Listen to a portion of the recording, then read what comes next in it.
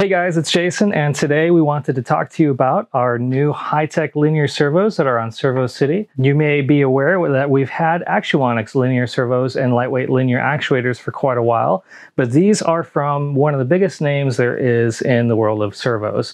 Uh, so Hitec has taken their years of experience developing servos and brought that into the lightweight linear servo world. Linear servos are really useful in applications where you need a compact solution for creating linear motion, but they can also be used for creating rotational motion as well, just like a standard servo would.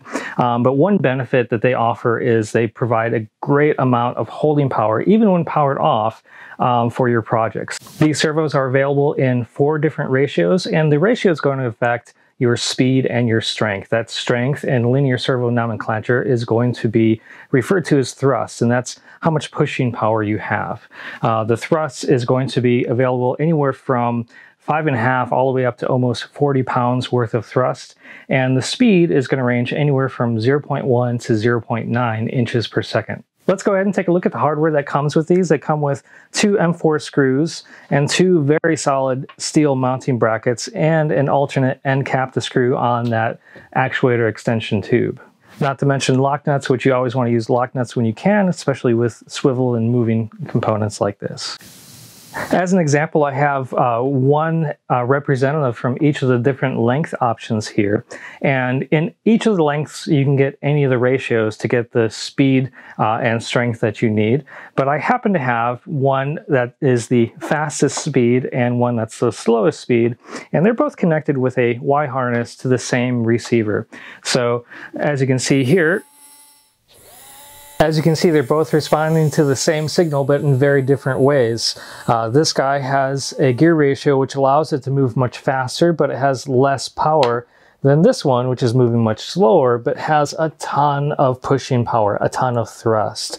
Uh, but even this one here, which doesn't have as much thrust as that, has a, a significant amount of holding force on it because linear servos are great for that.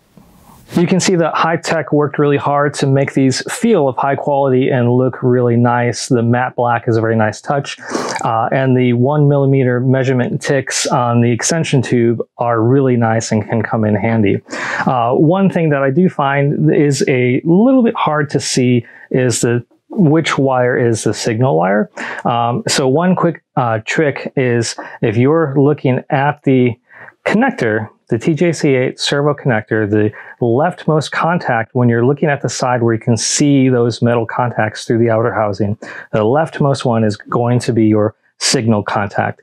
So you're going to want to line that up with the yellow or white wire, depending on what kind of servo wire connector you're using on the other side.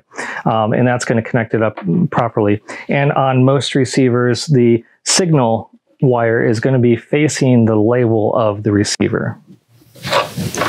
We really like these new Hitec linear servos. We hope you do too. Uh, let us know if you have any questions, as always, by shooting us an email to tech at servocity.com.